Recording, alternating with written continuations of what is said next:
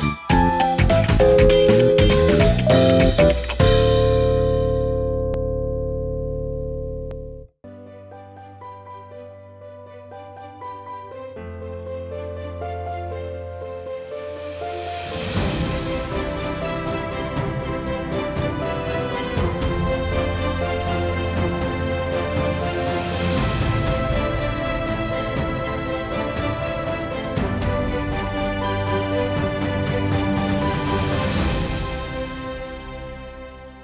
Hello, my friends.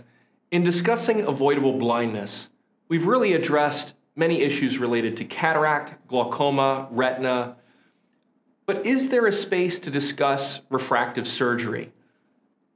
Let's find out.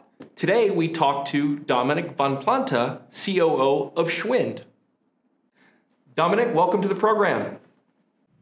Thank you very much. Hi, Matt. Hi. Great to Glad see to be you. here. Yeah, fantastic.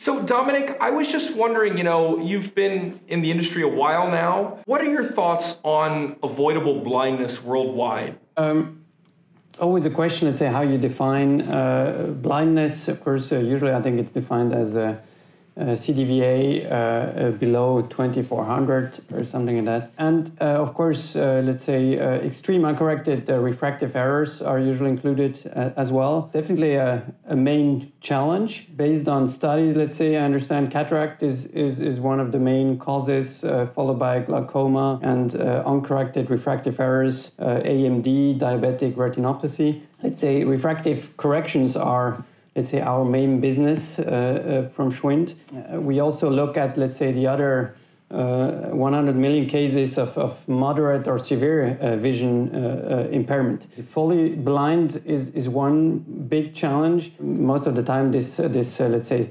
severe vision impairments uh, is then often leading to blindness also. It's a big challenge because it really takes able either child or, or adult out of the workforce uh, which could be able to, to do a lot of things but can't because of blindness. And especially if you look at children, it's particularly challenging because they miss out on education most of the time uh, if they have refractive errors. So it's definitely something which uh, we need to address, let's say, as, as a community. You know, that's a great point, Domenic. And uh, I'm curious, you know, in terms of refractive procedures that we see worldwide, that a number of them do, in fact, cause people to then become uh, more productive, cause them to uh, optimize their vision in terms of times when, yeah, they perhaps they weren't going blind, but they were maybe going legally blind, for example. How many of the patients out there that get refractive surgery are, let's say, in need? If we, if we take the, the children example again, uh, I understand that uh, roughly 80% of information which children are learning is presented visually. If the, the children don't have access uh, to this 80%, of course, uh, this is going to impact their, their chances uh, for, for the future. And then if you go uh, to, to adult people, um, let's say being able to work, of course, working in a, a more skilled uh, jobs uh, whenever you need to read and everything. I mean, uh, blindness or, or even partial blind blindness or or uncorrected refractive error is impacting you. Many, let's say, especially less developed countries, sometimes those challenges are not uh, identified uh, early enough, or let's say not properly identified, and then people just live with the impact, let's say, without notifying that they could do something about it.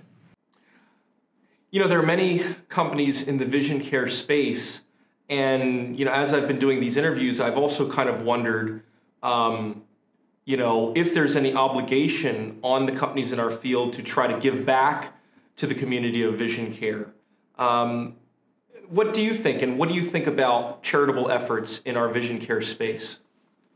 I mean, it's a good question. It's an obligation. I, I would say it's not necessarily an obligation, but I think most of the time, yes, it comes with it uh, to, to, let's say, have the opportunity to contribute beyond, um, let's say, what we are contributing on a daily basis by providing uh, devices, uh, let's say, to refractive surgeons. And for sure, I think for especially for developing countries, uh, I think uh, charities are an important uh, building block of, of making advances in, in in eye care because it's of course you could say okay it's it's government's responsibility but as we know uh, in many of those countries the governments don't necessarily have the possibilities or, or the, the um, infrastructure to take care uh, of all those medical challenges. Those people live in remote rural areas and private initiatives especially charities are a great vehicle uh, to, to transport and support uh, those local communities. When preparing for our interview today, I thought to myself, you know, that in talking about issues of avoidable blindness, it's easy to discuss issues like cataract, glaucoma, and even retina. But refractive is, is a little bit more challenging. And yet at the same time, I find that when, when I'm discussing this with you today, I am finding new insights um, into this space with your suggestions. So it seems to me that by your example, every person within ophthalmology does have something to contribute to, you know, avoidable blindness or the management, the, the prevention of that. Would you agree with that? Uh, absolutely. I think, I mean, it's not as um, obvious, as you say, as, as uh, cataract or, or uh, AMD or glaucoma.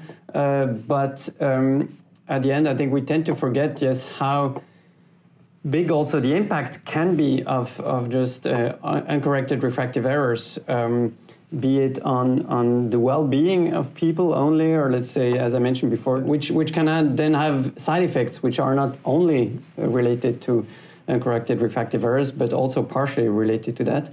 And, um, and we, we also tend to forget that over a lifetime, uh, having laser vision correction is the cheaper option than having uh, glasses replaced uh, uh, a, on a regular basis. So it's, it's, it also has a, a cost benefit for patients at the end of the day.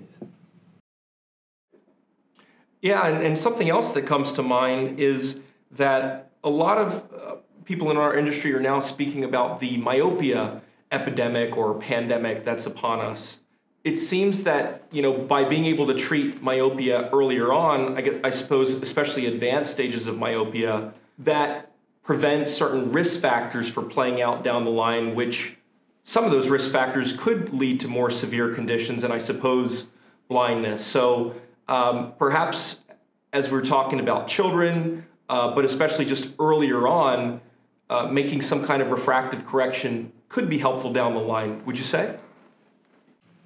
Um, absolutely, yes. I think, of course, children is is since they are still in in development. Um, let's say laser vision correction is not necessarily, but for sure. I mean, as you mentioned, um, you're not treating those smaller refractive errors at an earlier stage, be it with laser vision correction or glasses or, or contact lenses, can lead then to to more uh, evolving uh, myopia. Um, and at the end, it's also uh, uh, most of the time, let's say, treatment and prevention goes a bit hand in hand. So at the end, once we start thinking about how to treat the challenge, uh, we raise awareness awareness for the challenge, and and then those those children also become aware, and and young, uh, let's say, youngsters become aware that what they need to do uh, to be able to to reduce, let's say, the progression of, of myopia. Domenic, thank you so much for joining the conversation today. I hope you felt that it was helpful to advance our, um, our movement against avoidable blindness. Absolutely. It was great. Thanks. Thanks for the invitation.